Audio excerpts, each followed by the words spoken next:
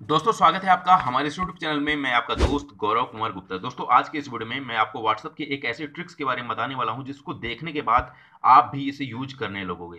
तो चलिए शुरू करते हैं।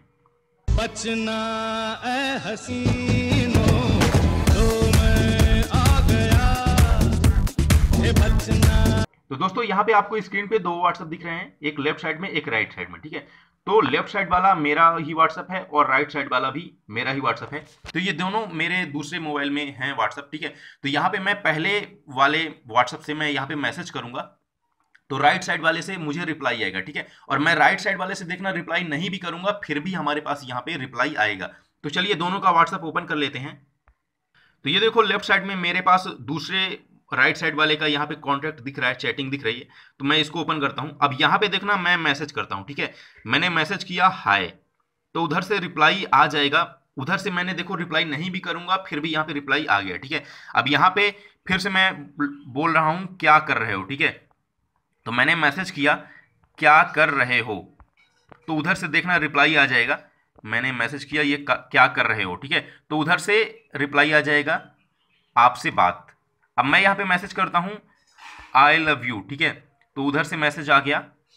ये देखो आप लव यू टू फिर से मैं यदि मैसेज करता हूँ आई लव यू तो उधर से मैसेज आ जाएगा लव यू टू तो ये कैसे होता है, चलिए देख लेते हैं, ठीक है?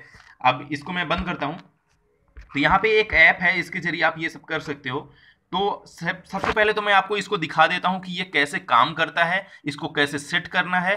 फिर आप को मैं बताऊँगा कि इसे कैसे इंस्टॉल करना है, ठीक है? तो चलो इसको ओपन करते हैं। अब यहाँ पे जो मैसेज है तो मैंने पहले से सेट कर रखा है तो इसको तो मैं डिलीट कर देता हूँ। तो यदि मैं स्लाइड राइट साइड में या लेफ़्ट साइड में किधर भी स्लाइड कर दूँगा तो ये डिलीट हो जाएगा। तो चलो इसको मैं डिलीट कर देता हूँ, ठीक है? अब यहाँ पे सबसे पहले देखो आपको क्या करना है।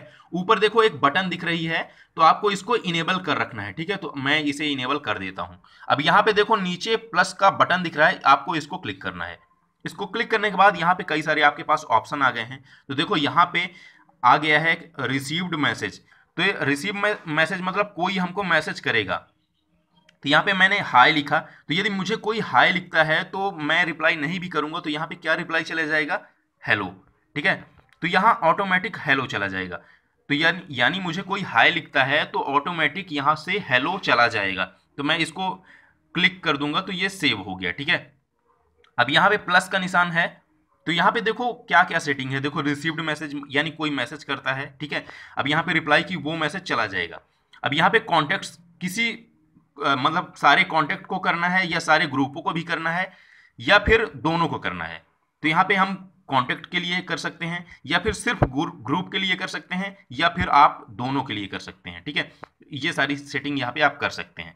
तो यहाँ पे हम रिसीव्ड मैसेज यानी कोई भी कुछ मैसेज करता है तो रिप्लाई क्या हो जाएगा? यहाँ से हम सेट कर सकते हैं, ठीक है? तो ये सारी चीज़ें शायद आपको समझ में आ गई होंगी। अब आपको क्या करना है? आपको अपने प्ले स्टोर में जाना है, और इस ऐप का नाम है ऑटो रिस्पोंडर फॉर व्हाट्सअप तो आप इसे यहाँ से इंस्टॉल कर लीजिए। वैसे मैंने इसको डिस्क्रिप्शन में भी दे दिया है इसके लिंक को तो आप वहाँ से भी इसे डाउनलोड कर सकते हैं।